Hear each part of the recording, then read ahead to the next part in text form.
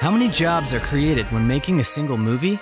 Well, small ones, hundreds. Large ones, thousands. And that means a whole lot of money for our state. So, how does it all happen? Let's back things up. Right before a film is done, it needs a score. That's where these guys come in. Beautiful. And that creates a few dozen valuable jobs. Oh, and before that, we have post production editors, VFX, sound, basically computer nerds doing computer stuff. And trust me, without these guys, you don't have a film. All right, so what do you think of that? Do you think we could have some lasers maybe? Oh, yeah. There you go. Ah, that's perfect. Post production teams can be as large as a few hundred. And action! So before that, we have the production phase. You know, where they say action, cut, other cool stuff like that.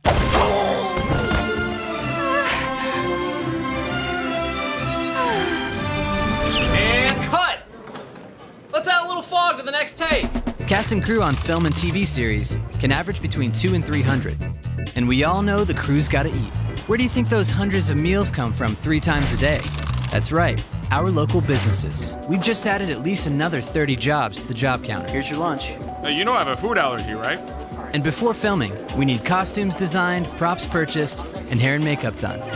And lots and lots of set building, which means valuable jobs for skilled Oklahomans. No, we got the 500. We need 500 more. But before all the costumes, before all the actors and the special effects, music, it all begins with a location. So, on to locations. Where have you guys decided? We're going to Oklahoma. Yeah. Oklahoma it is. Wait, why Oklahoma when there's so many places to film in the world? Over the last five years, some of your favorite movies and TV series have pumped nearly 100 million into our state's economy, and there's another 150 million that will be spent in 2021 alone, creating sustainable jobs for Oklahoma residents and breathing new life into local businesses.